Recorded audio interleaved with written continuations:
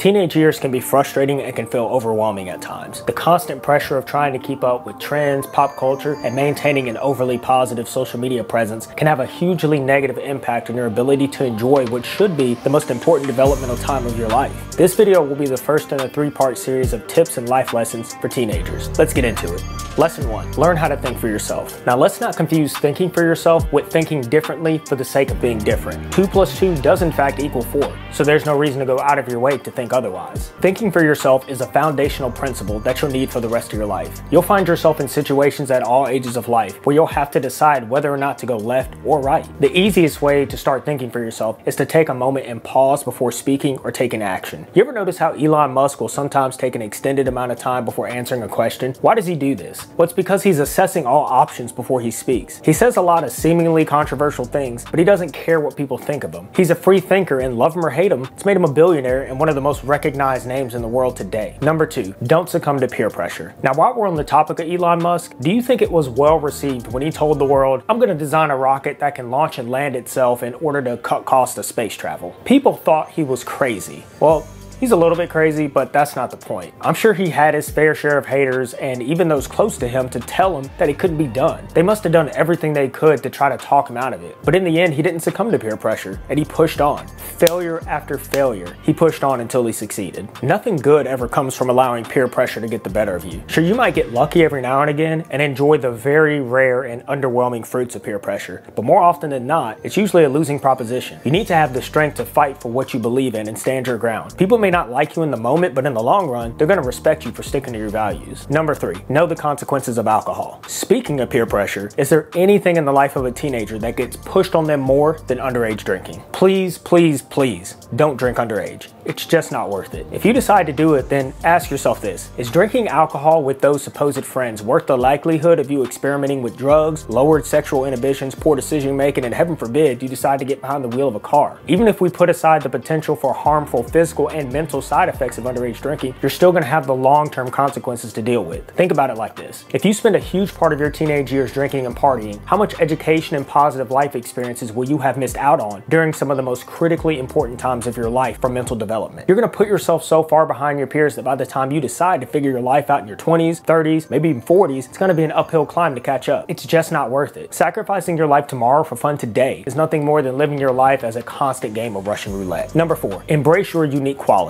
This is gonna sound cliche, but it is what it is. You are special, different, and unique. The problem is, fortunately, we live in a world where telling people they are special and unique has given rise to a sense of false superiority without any skills to back it up. While it is true that you are unique, you have to learn the right way to go about using those unique qualities. Take the time to outline what makes you different and then find a way to use your unique qualities to your advantage. Now, if you feel like your only redeeming quality is that you are good at gaming, for example, and I'm sorry to say you're wrong. You have more to offer. Being good at video games probably means you're also handy with electronics, computers. You have a basic understanding of hardware, software, and coding. You possess mental agility and probably some physical dexterity to deal with all those small components. See how quickly one attribute that we possess can snowball into numerous unfair advantages that we can use over our peers. I challenge you to figure out what makes you unique and then generate a list of how your experiences can be used in other more meaningful ways. Number five, spend less time with people who don't deserve your time. Now, unfortunately for most people, it's often extremely difficult to embrace what makes them unique because we have surrounded ourselves with people who aren't worth your time. I'm gonna keep this section brief. Weed people out of your life. Separate yourself from people who cause you pain both physically and psychologically. Life is far too short to allow negative people to bring you down. Number six, outgrowing people is natural. People naturally tend to gravitate towards others who share similar principles, interests, and values. Now, whether you realize it or not, when you're younger, the bonds of friendship are actually fairly weak. See, in your younger years, friendships tend to be built on very meaningless attributes, such as maybe you grew up in the same neighborhood together, or maybe you just happen to sit next to that person in class that one day. But as you get older and develop more life experience, you'll naturally begin to drift away, or in some cases, drift closer to people you used to be friends with. Sometimes this drift is obvious, and other times it's subtle. Don't be afraid of outgrowing people. This is natural and it's a necessary part of growth. I personally had to come to this realization after my year-long adventure of drinking from the fire hose that is military training. After having been the same person for so long, literally the exact same person all throughout elementary school, middle school, high school, and college, suddenly I was thrust into an entirely different world in the form of basic combat training, officer candidate school, and basic officer leader course. I was no longer the same person I was when I had finished all that training. And funny enough, I realized that I had liked this new person that I had become. But unfortunately, there were some friends and family in my life that didn't like the new me. They wanted me to stay the same. They wanted Nick Davis to stay the same weak, timid, and easily manipulated person. So I cut ties with those people.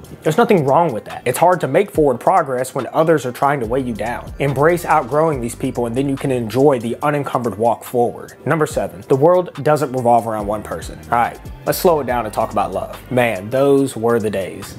All right, listen up, kids. Believe it or not, there was a time when we didn't have cell phones. And before the days of cell phones and texting, we sent these things called notes to each other in class. That's right. We would spend time putting together carefully crafted notes expressing our feelings for someone, and it was just a thrill. You know, you finally received that confirmation that you were not boyfriend and girlfriend. The skies would part and the sun would just shine brighter than anything that had come before it. You know, hand in hand, y'all walk everywhere. You know, just nothing could separate you two. Until your friends would come around you saying, you, y'all are spending way too much time together. You know, we don't see you as much anymore. You know, your siblings, your parents, they want to spend time with you, but all you want to do is spend time with your new girl or guy. Now, you're not going to want to hear this, but the world does not revolve around one person. And I know that's that's hard to hear. It's easy to get too invested in this one person who makes us feel things that we've never felt before. But I promise you there is more to life. Guard your heart because breakups tend to happen frequently and often until you find the right one. And unfortunately, the likelihood of you finding the right one in your teenage years is pretty slim to none. Now, fortunately, it's not all bad news. You can use this time, you should use this time to grow and mature. You know, test out new methods of communicating, figure out how to initiate and carry on interesting conversations. Make your mistakes early so that when you're ready to find the right one, you'll have more to offer in that initial conversation than you believe the most underrated color is chartreuse and that your favorite food is pineapple pizza. Number eight, sex is not a sign of maturity. I don't even know why I included this one on the list because none of you are gonna take my advice on this one, but I, I have to mention it. Your teenage hormones are so strong right now, you're probably humping your parents' furniture right now. But since YouTube loves a good list style video and I need to get my watch time up, let's include it anyway. Having sex does not make you cool, popular, or more mature than anyone else. It is order of magnitudes harder to maintain the self-discipline required to keep it in your pants than it is to give it away freely. Now all that said, while I don't encourage premarital sex, if you must do it, please, please, please use protection, specifically condoms. Practicing safe sex will at least give you a fighting chance against sexually transmitted diseases and accidental pregnancies. Number nine, breakups hurt, but time heals all. I'll come clean with you guys on this one. I didn't learn this one till I was about 22 years old. I'll keep this brief. My high school sweetheart and I, we went to college together and we graduated together. Now through a series of unfortunate events on both of our parts, we ended up breaking up. You know, that was years of high school dating, college dating, and possibly the potential of marriage. It was just gone like that in an instant. I'm not gonna sit here and pretend like it didn't hurt. It did, it sucked. I probably sat in my room for two or three days. I skipped out on work, I barely ate. I was overall just a hot mess. But after day two or three, a funny thing happened. I woke up after another restless night and I noticed for the first time there was like this tiny sliver of sunlight peeking through the blackout curtains in my room. Now, I forced myself out of bed and flung those curtains open and with the full force of the sun filling up the bedroom, I had like this realization. See, no matter how bad I felt in that moment, even though the world felt like it had come to an end, the sun was still gonna shine every day, whether I wanted to be part of it or not. It didn't matter how much my heart hurt, the world was going to move forward with or without me, so I might as well get up and find a way to move forward. Now, it still took plenty of time for me to heal completely. Years, if I'm being honest. It took an unreasonable amount of time for me to be 100% completely over the pain, that loss, that betrayal that I felt my heart because I'd lost someone that I loved more than life itself. But I can honestly say that it did get better and I finally got over her. Eventually that pain will fade and time does in fact heal all wounds. Number 10, prioritize your health. Now aside from the obvious things you should be doing to maintain your health like not indulging in alcohol, tobacco, vaping, or drugs, use this time to get a jump start on some healthy habits. Things like doing exercise, getting quality sleep, learning to eat right, you know, they can have these long-term lasting side effects that are positive for your future. Now, while I'm not suggesting that you have to become a gym rat bodybuilder who eats nothing but grilled chicken breast, kale, and protein powder, I do encourage you to take up some form of moderate intensity exercise a few times a week and at a minimum, practice good dietary and sleep habits. This could easily turn into a video all on its own, but as a starting point, I'd recommend the following for how you can begin to prioritize your health. Number one, conduct some form of moderate intensity exercise two to three times per week. Number two, limit the amount of unhealthy foods you eat. A quick down and dirty strategy I like to use is the 4-3 meal strategy. This means that within a seven day week, you'll be eating four healthy meals for every three unhealthy meals you eat. Think about it this way. Eating a salad one day a week isn't gonna make you fit and thin. The inverse is also true. Eating clean most of the time and indulging in one unhealthy meal a week isn't gonna bust your fitness goals. If your unhealthy food intake is more than your unhealthy intake, then you should maintain a relatively healthy body weight. Number three, drink water. I am terrible at this, but the thing is, I never feel more amazing than I do when I'm doing military training in a desert environment or in the middle of summer. Now, why is this? Well, it's because I'm forced to be hydrated. I have to drink water. Trust me, drink water. You'll feel better. Number four, get plenty of sleep. Again, I am terrible at this. I've struggled with sleep for years and it's only gotten worse with the amount of screen time and caffeine we're subjected to. Find out what works for you. I try to put down screens at least two hours before I like to fall asleep. Uh, Uh, full disclosure, I'm still working on this one. More to follow in future videos. Number 11, don't compare yourself to others. This one is gonna be tough and I'll be honest, you're gonna struggle with this one until probably well into your adult years. But since you're so smart and clicked on this video, you're gonna be far better equipped to address the societal issue of falling into the comparison trap. I'll ask you to refer back to tip number four on embracing your unique qualities. Having a strong understanding of what makes you unique is gonna help you to fight the urge of constantly comparing yourself to others. Now keep in mind, I'm not telling you to completely ignore everyone around you. It's okay and I strongly encourage you to observe and learn from others. If you're a skinny 15 year old kid who wishes he was as muscular and confident as his favorite celebrity, then by all means, watch them on YouTube, figure out what they're what they do in their workouts. What do they need to do? What do you need to do to reach your goals so that you can look like them?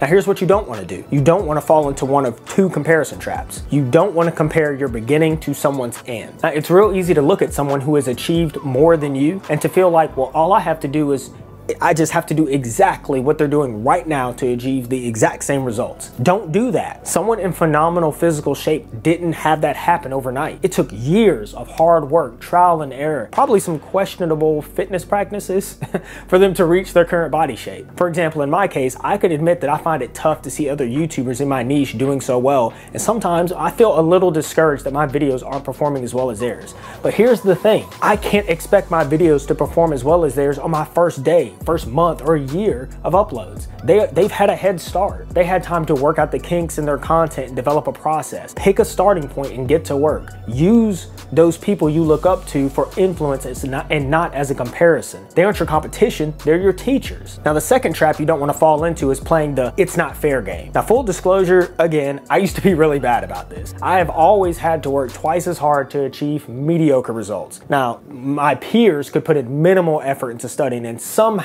they could manage to land these low effort, high paying jobs, yet I've always been stuck fighting for every inch of ground I wanted to cover in life. But you know what? That's that's okay. Like it really is okay. I'm writing my own story and those people don't have a place in it. Every struggle that I encounter is unique to me and as such, it gives me an advantage that they will never be able to replicate. Embrace your struggles and realize that any shortcomings you feel like you currently have, they are nothing more than stones that you can use to sharpen your skills down the road. Number 12, you are valuable no matter what you look like. Of course, one of the most difficult comparison traps to fall into is regarding our outward appearance. Unfortunately, social media hasn't done much to boost our self-esteem in this regard. If you find yourself looking in the mirror and seeing someone you don't like, don't lose sight of how special you are and don't be afraid to lean into your strengths. It doesn't matter if you think that you're too short, you're too tall, skinny, fat, whatever your skin color is, make the best of what you've got and just wherever possible, just adjust. Number 13, change what you don't like. Now as a follow-up to the previous point 12, it is possible to change something you don't like about yourself and work towards adjusting whatever that thing is. Now for me, I was always a skinny kid. I was always pretty active, but I never could put on any meaningful fat or muscle mass. Now I went into basic combat training at 145 pounds, and with the assistance of another basic trainee, I was able to adjust my diet and I put on an additional 20 pounds in 10 weeks. Now just to